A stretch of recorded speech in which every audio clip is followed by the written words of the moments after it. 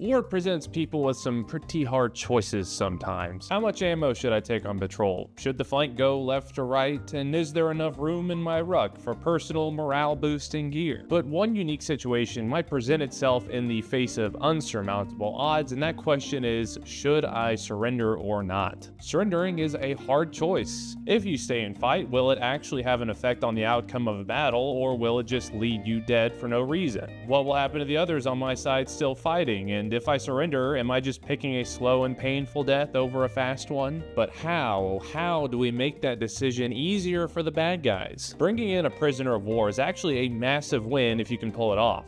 It has huge impacts to morale on both sides, can potentially be a great source of information on your enemy, and gives you a political leverage for any negotiations against whoever you're fighting. This is why we hear Zelensky often reference the idea of increasing the POW fund, as it were. But what makes someone want to stop fighting, throw in the towel, and just raise the white flag? Do we just try to explode them until they give up, or are there more sinister, dark, psychological tactics we can use? Let's try to find out. One of the first studies done on the phenomenon of surrendering soldiers was done by a guy named Allan Stam, who, after studying every major war between 1815 and 1988, came to two groundbreaking conclusions. Groundbreaking conclusion number one it's easier to win a war if you have more people than the people you're fighting. Fascinating. Second, POWs are a good source of slave labor. Gap damn, get this man a Nobel Prize ASAP. I joke, but the point of this study was basically to try to lay the framework for the argument that getting enemy soldiers to actively surrender should be something you pursue, not just happening on accident. It should be a goal rather than a byproduct of something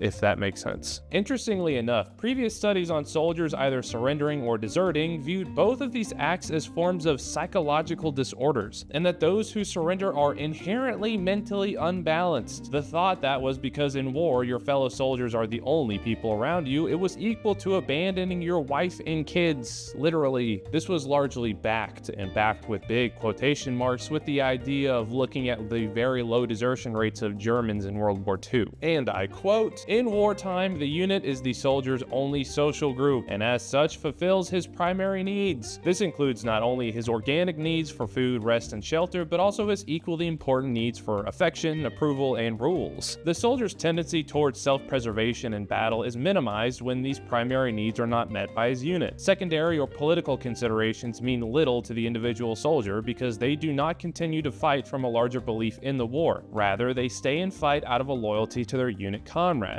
This thinking was also supported by historical American and British soldiers who were more likely to surrender or go AWOL if they had a history of truancy in school, were young, or had a mental illness. Mental illness, as we know in the 1940s, was defined by holding the belief that children don't belong in factories, feelings of agnosticism, and being Irish. But the broad idea of the study was the focus on breaking up unit cohesion, and they used the key word here self preservation. Being in a tightly knit, well trained military unit causes people to act altruistically. This means they'll follow orders, trust their commanders, and be courageous in the face of fear. If you're able to tip the scale of soldier motivation from protecting those around them to protecting themselves, you are on your way to collecting a few POWs. It was found that it wasn't necessarily the formal structure of rank and billet that was the goal to break, but the informal cohesion or culture of the unit. One particularly useful strategy to do this, they went on to say, is by targeting a unit's leadership, either literally target them or force your enemy to lose trust in them. And this was found especially true in units built of conscripts rather than volunteer soldiers. But just like everything else in war, your enemy gets a vote. I don't know of a single country that doesn't explicitly lay out what will happen to you if you decide to spark a mutiny, desert, or surrender if there are no immediate reasons to. Spoiler alert, all the punishments for this in wartime lead to blindfolds and firing squads, United States included. Surrendering and deserting come with their own risks. It's a gamble every time. So how do we make that gamble worth it? A 1997 study called The Soldier's Decision to Surrender for the American Political Science Association looked to answer that exact question. Now they used a fancy model with a lot of variables in math, but I'm just going to cover the highlights so I don't bore you to death. They said that in a given battle, a soldier has three options. Fight,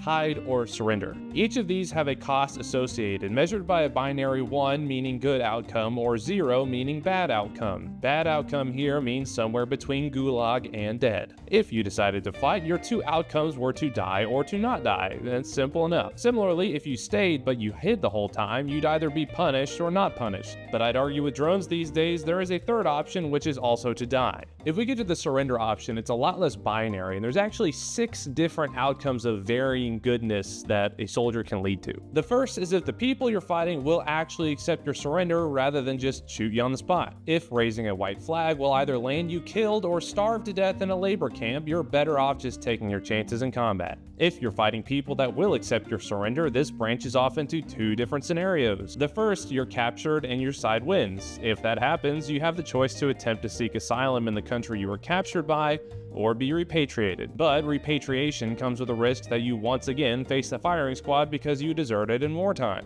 And this tree of possible outcomes is doubled, but with different levels of risk if your side loses while you're still captured. If this is too much A equals B, B equals C stuff, just look at it from a hypothetical North Korean perspective. Dude might want to surrender, but doesn't want to risk his family sent into a labor camp for three generations. That would dissuade him. But say he knew his family was safe, or at the very least, the labor camps would go away if his side lost. If he surrendered, it would help his side lose. So he surrenders knowing that the South Koreans will honor the Hague Convention and accept him as a POW. Now his outcomes are looking pretty good. He helped his side lose, which made his family not at risk for being tortured to death, which means either he seeks asylum or at the very least his country is no longer run by God King wannabe Kim, and by virtue that has to be better than what they have now. This is obviously a very simplified example and there's no telling what 24 hours of multi-generational propaganda will do to a person, but it's just what I thought about. But what are the big takeaways here? First, it's important to actually obey the laws of war and not do war crimes. If you know the people you're fighting against won't just torture you and your friends to death, then it makes it a lot easier to convince you to surrender. Next, ensure that the chance of hiding or fighting will lead to a greater chance of death, or at the very least, just not worth it in general. Things like targeting enemy leadership, disrupting supply lines of things like ammunition and food especially, making living conditions as objectively miserable as possible with non-stop harassing fires, artillery strikes, or drone attacks, or by bombing out the squad barbecue. Any sources of personal comfort get punished, like warming fires or cell phone signals. Make your enemy as sad as humanly possible, and you'll know you've succeeded when you hear them start singing Gary Jules' cover of Mad World. Finally, offer things like asylum and citizenship to the POW That you've taken, entice them to not want to go back into the war. One of the big benefits of treating POWs well isn't that you can just hark on being the good guy, but it keeps POWs from wanting to escape. If you throw them in a camp, but the prison has everything they would need or want, they're just gonna get fat and lazy and want to stay. Kind of like society. Now, everything I just talked about is great, but it's very mathematical thinking. Soldiers considering surrender aren't busting out a pen and paper mid firefight to draw up a pros and cons list on their current situation. How do you appeal appeal to that monkey brain instinct that will help put people over the top. PSYOPs. And here I mean like actual PSYOPs, not whatever you guys think it is. I already did a video on that. All military action is intertwined with psychological forces and effects, as Clausewitz once said. According to the 2003 version of FM 3-05.301, the goal of PSYOPs is to influence emotions, objective reasoning, and ultimately behaviors of foreign governments, organizations, and here what we're talking about, individuals. The manual talks a lot about what helps convince a soldier to surrender, but maybe not in ways that you think. They really like the honey over vinegar approach because it states specifically to avoid antagonization, basically saying if you're just mean to the people trying to kill you, it'll make them want to kill you even harder. This makes sense, but the effect is that psyops that are aimed at inducing surrender are never going to be things like, oh, look how big and bad we are and how small you are, plus you smell bad, your country's a shithole, and also fuck your mom. The message you send out has to be non-antagonizing, but it also has to be believable within cultural norms. An example of this in the manual was during the Korean War, broadcasts were sent out to the DPRK troops bragging that North Koreans that had already surrendered ate eggs and bread for every breakfast. While this was true, the North Koreans didn't actually believe that the real troops had eggs, let alone prisoners, so the plan actually backfired. Loudspeaker operations is always a fan favorite when it comes to talking about psyops. People love bringing up things like blasting music on repeat at officials and embassy, or the extra spoopy Halloween noises teams would play in the Vietnam jungle. But sometimes, and this applies for most things in life, Sometimes the boring answer is the best. During the Gulf War, coalition forces had successfully isolated a large Iraqi force on Failaka Island. Directly assaulting an island with a waterborne beach landing, in case you didn't know, sucks big time and gets a lot of your buddies killed. Opting not to do this, instead, a UH-1N helicopter was flown with attached loudspeakers and simply told them that tomorrow morning they all needed to be in formation by their radio tower in order to surrender. Sure enough, the next day, 1,405 Iraqi troops, including their general, were formed up nice and neat, ready to go and be taken as POWs. They saw that at that point in the war, the island was going to be lost no matter what they did, so they might as well just pack up and go home. But obviously today things are a little bit less on the nose. Let me give you a personal example of this. Rewind back to 2020. COVID's going crazy, I'm a lieutenant, and my ass is stuck staring out over the Black Sea in an effort to deter Russia from coming into Europe. This was part of Operation Atlantic Resolve, which was a big tripwire deterrent thing. You can look it up. Whenever I'd call my family back home at around the 20 second mark into the phone call, I'd hear a bunch of weird clicks and beeping, and that weird click and beepings were Russian intelligence tapping into my phone after pinging one of the local cell towers. Now, I'm sure they got so much good information about me